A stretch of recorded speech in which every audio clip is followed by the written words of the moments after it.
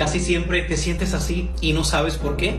Déjame decirte cuáles son las señales de que probablemente estés pasando por una posible depresión. Quédate y sabrás cuáles son. La primera señal es querer siempre estar aislado socialmente. Dos, estar teniendo cambios repentinos en tu estado de ánimo. Como tercera señal es que muy continuamente estás teniendo sentimientos de tristeza y vacío. Cuatro, padeces de insomnio o al contrario, duermes en exceso. 5. Y muy importante, pierdes el interés por las cosas que antes te gustaban hacer. Y por último, se te hace muy fácil distraerte.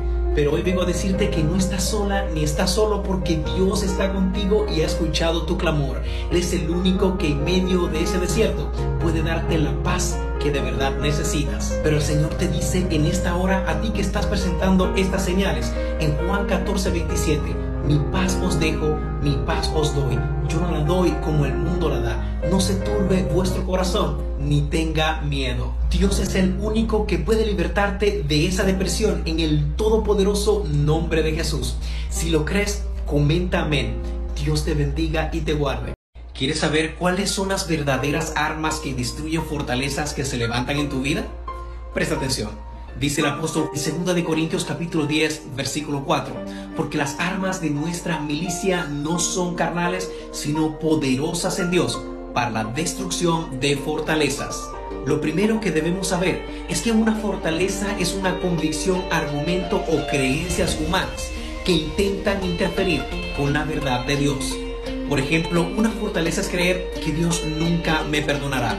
A eso se le llama una fortaleza de culpabilidad que nunca podré perdonar, una fortaleza de resentimiento.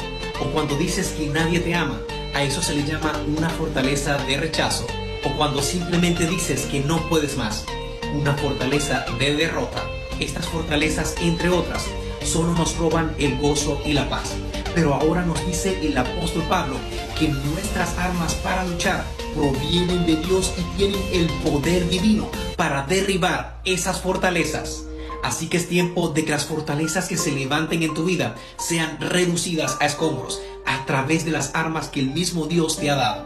Su palabra. Si lo crees, coméntame. Dios te bendiga más.